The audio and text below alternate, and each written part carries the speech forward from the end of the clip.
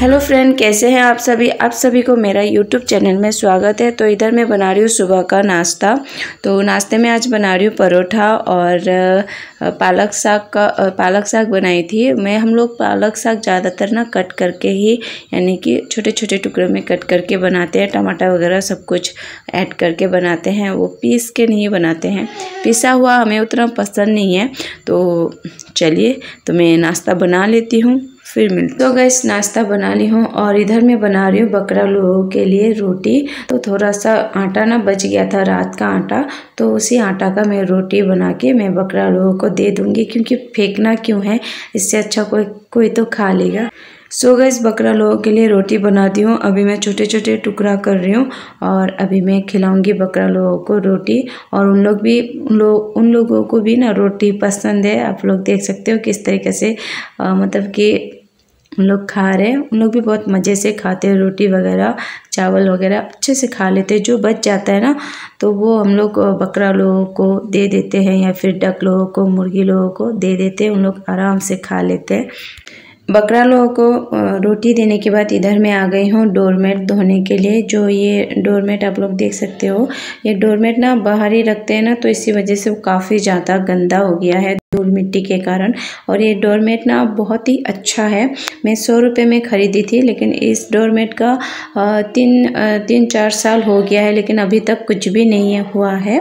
ख़राब नहीं हुआ है, लेकिन पुराना हो गया है, कलर चला गया है, लेकिन अभी तक जैसा था, वैसा का वैसे ही है। सिर्फ़ कलर चला गया है, ख़राब गंदा दिखता है अभी देखने में, लेकिन जैसे कि फट जाता है, कुछ ख़राब हो जाता है ना, वैसा नहीं हुआ है। तो सौ रुपये में काफ़ी ज़्यादा अच्छा अच्छा है ये डोरमेट और तीन चार साल हो गया है, आप लोग देख सकते हो। वैसे को वैसे ही ये सिर्फ़ रंग चला गया है और पुराना हो गया है। तो चलिए मैं डोरमेट को धो ली हूँ और डोरमेट ना मैं ऐसे ही धोई हूँ आज, सिर्फ़ पानी से ही धोई हूँ, सर्फ से नहीं धोई हूँ। तो चलिए मैं सुखा लेती हूँ, फिर मिलती हूँ।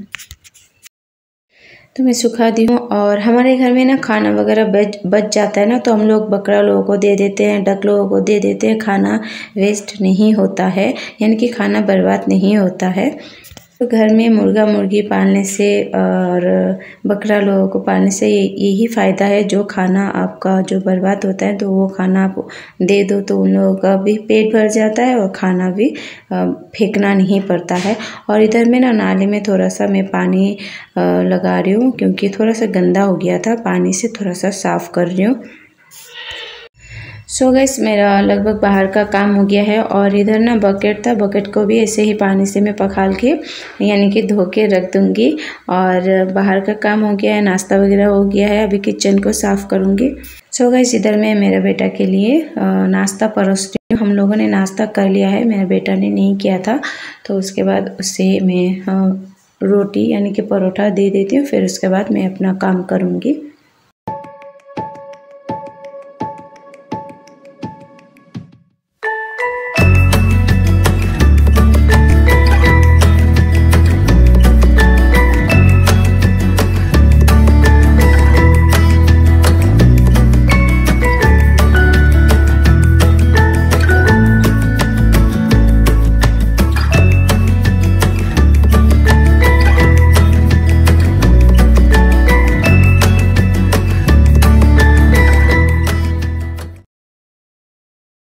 सो so गैस मेरे बेटा को नाश्ता दे दी हूँ और अभी मैं ना इधर कटोरा में जो खुरमा बोलते हैं ना तो हम लोग खुरमा बोलते हैं तो वो खुरमा मेरे बेटा को दे रही हूँ।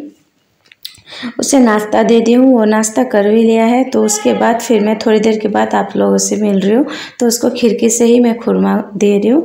तो चलिए, अभी मैं अपना किचन को साफ़ सफ़ाई करूँगी।